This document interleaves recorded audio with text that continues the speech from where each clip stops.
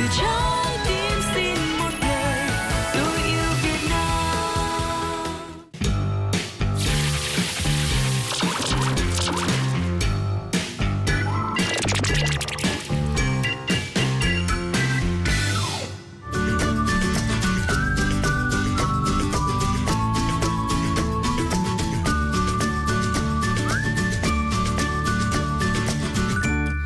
Chào quý vị khán giả, chúng ta lại gặp nhau trong chương trình Thấu kính giao thông.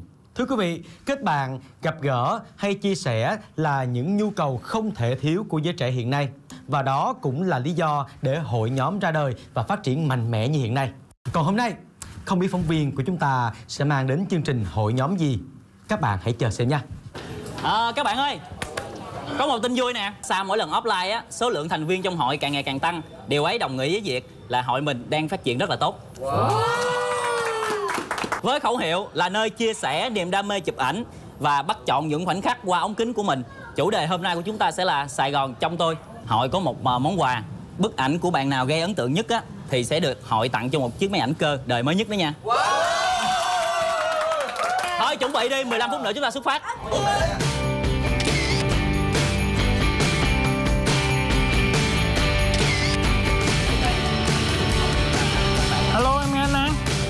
Dạ em đang đi offline với bạn ở ngoài đường sách nè anh. Dạ rồi em về liền. Anh Đức ơi, anh Đức. Có gì vậy em? Anh An gọi em về hội có gì cấp? Bây giờ mới về trước đi mình- cứ để mấy bạn ở lại chụp. Chút nữa rồi có gì anh tổng kết hình rồi anh về sau. Anh Đức, anh Đức. Dạ dạ. Ờ, lúc nãy em đi vội quá, em không mang đồ thẻ nhớ. Mà hỏi thì không ai mang cả. Em chờ anh xíu đi. Bảo lại đó nghe. Bây giờ thằng bảo nó về hội em đi về chung với nó lấy đi rồi vòng lại. Ừ, là cũng được ạ. Mà À hôm qua em mới mua cái nón 20 ngàn, Để em lấy cho bạn ấy mượn.